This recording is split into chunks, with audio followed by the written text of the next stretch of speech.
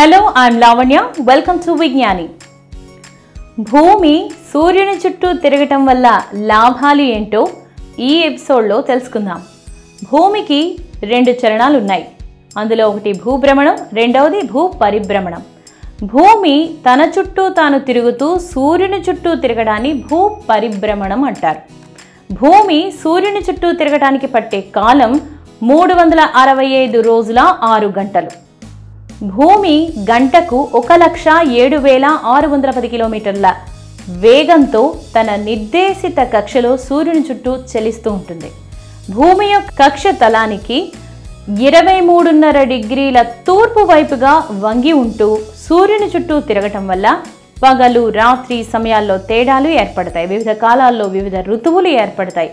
ఈ కారణంగానే విషవత్తులు ఏర్పడతాయి. విషవత్తులు అంటే ప్రపంచం అంతటా రాత్రి పగలు సమానంగా ఉండే తేదీలు అని అర్థం.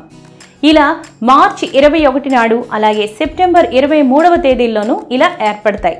ఈ విషవత్తుల తేదీల్లో సూర్యకిరణాలు భూమధ్య రేఖపై నిట్ట నిలువుగా ప్రసరించటం వల్ల ఈ తేదీళ్ళలో ప్రపంచం అంతటా రాత్రి పగలు సమానంగా ఉంటాయి. మీకు ఈ ఎపిసోడ్ నచ్చితే లైక్ చేయండి షేర్ చేయండి సబ్స్క్రైబ్ చేయండి and thank you for watching